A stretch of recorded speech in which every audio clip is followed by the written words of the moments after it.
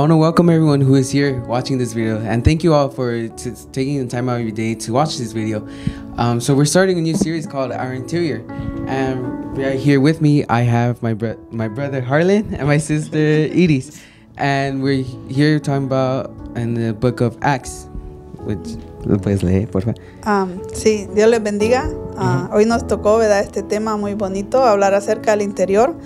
Y yo voy a leer en Hechos, capítulo 8, versículo 1 al 3. Y la palabra de Dios dice así. Y Saulo consentía en su muerte. En aquel día hubo una gran persecución contra la iglesia que estaba en Jerusalén y todos fueron esparcidos por las tierras de Judea y Samaria. Salvo los apóstoles y hombres piadosos llevaron a enterrar a Esteban e hicieron gran llanto sobre él. Y Saulo asolaba la iglesia y entrando casa por casa arrastraba a hombres y mujeres y los entregaba en la cárcel. Así de bajarle con nosotros que siga compartiendo. No, so la- lo que estamos haciendo aquí, estamos describiendo el interior. ¿Qué fue el motivo del apóstol Pablo? Si hacemos esa pregunta, ¿qué fue que comenzó él a perseguir la iglesia? Así, así hay, hay muchas cosas. What do you think, Nelson? ¿Qué fue el principio? ¿Qué fue lo que causó esto? Well, with anything, just anger, I guess, with probably something that happened in his life, or yeah. Sí, hay mucho. ¿A usted qué piensa, hermana Iris? ¿Qué fue? Porque ahorita vamos a meternos profundo, ¿verdad?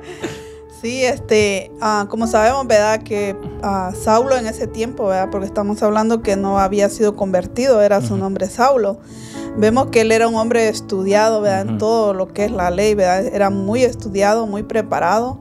Entonces, ah, Saulo cuando escuchó que se estaba hablando del cristianismo, que se estaba predicando de Jesús, pienso que entró en un celo, ¿ah? Pelear, pelear lo que él había estudiado. Según él pensaba que estaba correcto lo que él sabía.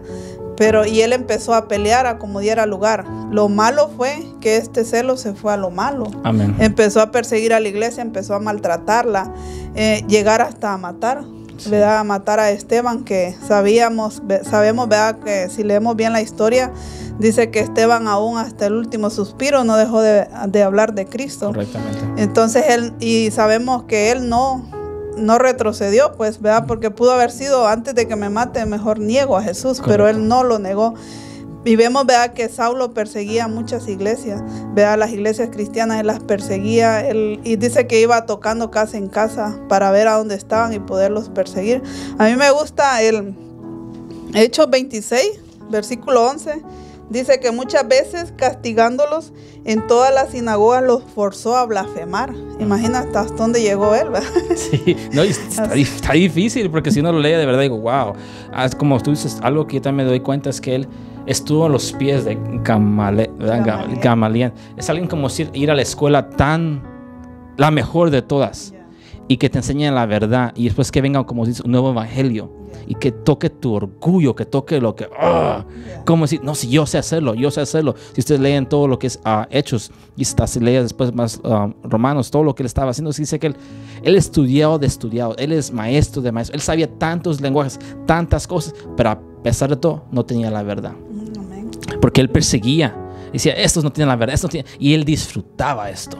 Entonces él- yo creo que el motivo de él siempre fue tener la verdad, estar siempre seguro. Y algo que yo agarré de un versículo que estaba compartiendo contigo es donde dice, lo que no quiero ser hago y lo que, lo que quiero ser no hago.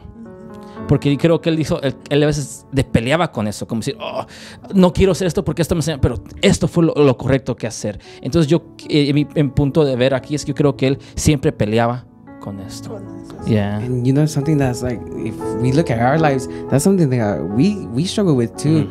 Like we always think that we're right, that we're in the right. Like say something happens bad to us or some like someone calls us out, we are like, oh no, we're right. How how can you say that I'm wrong?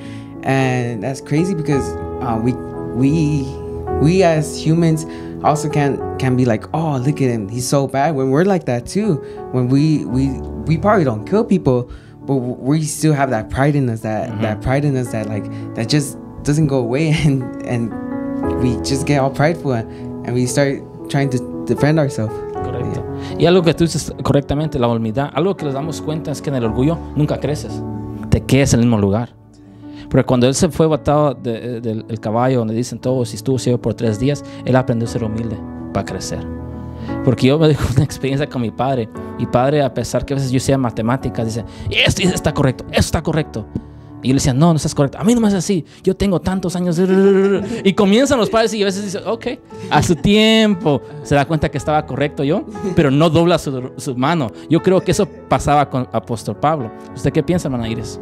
Sí, amén, vea, este, eso como él, vea, había entrado en un celo, eso es lo que estaba en su interior de él, y como estamos hablando del tema del interior, vea, como dice Harley muchas veces, entra eso en nosotros, vea, que queremos que como es saberlo todo y no lo sabemos. Entonces, lo muy importante es que, como decía Denilson, la humildad, aprender a ser humilde, porque vemos, vea, que cuando no no siendo cristianos somos de otra manera, pero cuando Dios nos llama a los pies de Cristo, nuestro corazón tiene que irse transformando, pero muchas veces es, no es así. Muchas veces aún siendo cristianos almacenamos en nuestro corazón muchas cosas. Correcto. Y, ¿verdad? y como Pablo, ¿verdad? él trabajaba con eso. Él día a día me imagino que él le pedía a Dios que cambiara eso, porque uno lo... lo como en mi caso, eh, mi, mi, yo lucho con mi, mi temperamento porque pues ah, cuando algo no me gusta tiendo a responderlo y, es algo... sácalo, sácalo, sácalo de usted. y es algo donde yo he trabajado y le he pedido a Dios tanto por eso, porque eso no tiene que estar en nuestro corazón, eso tiene que salirse y cuesta mucho, cuesta soltar esas cosas. Entonces imagino que Pablo luchaba día a día con eso, el celo, ¿verdad? Me imagino el, enojo, él peleaba ese, como dicen, era enojón, era colérico. Él peleaba contra eso. Y, no solo lo vemos, él era, eh, cuando él ya se convirtió, lo vemos, vea, en, más adelante donde él peleaba contra eso, porque era un hombre firme, que si daba una palabra, esa palabra se tenía que ser así, ¿verdad? Pero él ya lo miraba de otra forma porque ya fue convertido a Cristo. Ya no era un celo malo, sino que era una persona que que amaba a Dios y que, y que deseaba que todos hicieran las cosas de como se tenía que hacer, pero en el amor a Dios, en el camino a Dios. Entonces así tenemos que ser nosotros, ¿verdad? ir cambiando eso malo, irlo dejando y dejar que otras personas se levanten y ser humildes para que otros se levanten, porque muchas veces queremos nosotros estar ahí, estar ahí, que no solo nosotros mirarnos, pero cuando aprendemos a, a depender de Dios y, que, y dejar que Dios levante a otras personas es lo más bonito que puede haber, ¿no? La humildad. Y no sé qué tenga Harlem. No, hay, hay, mucho, hay mucho. Dice algo que estás tocando ahí que yo creo que todos que están viendo ahorita en este momento, yo creo que todos peleamos con eso. Peleamos, todos peleamos con eso. Ah, yo sé más que el otro. Yo sé más que el otro. Yo sé que más el otro. Si no, pregúntale a David y Goliat, ¿verdad? Pero algo que damos cuenta, eh, aquí, a apóstol Pablo, es que él aprobó una muerte, que fue Esteban. Y ahora él se vuelve a lo que es Esteban. Él murió humildemente, como una ovejita murió Esteban. Entonces él mismo, él mira eso y dice, ¿alguien puede morir con esa verdad? Y él sigue el camino. Y yo creo que todos los que se están viendo ya, acaban de ir a hermana Iris, acaban de ir a hermano de Nos, acaban de ir a nosotros. Yo creo que Pablo en su interior eso peleaba. Si tú estás peleando con eso, te estás diciendo, ¿sabes qué? Yo sé esto, yo sé esto. Ahí te vas a quedar, no te vas a poder crecer. Por eso la gente humilde crece, porque siempre aprende a escuchar. Yo creo que eso le pasaba a Pablo. No él porque él no entendía la iglesia, él no entendía lo que estaba pasando y su ira muy enojo, era más grande, era más grande, hasta que yo llegó Dios y le dijo, al que tú persigues en este encuentro, que soy yo Jesús. Y tres días tuvo y llamó, llamó un, um, un profeta que orara por él y rescató la vista. Si tú estás pasando por ahí, pídele a Dios que rescobre tu vida, que, que lo que está dentro de ti.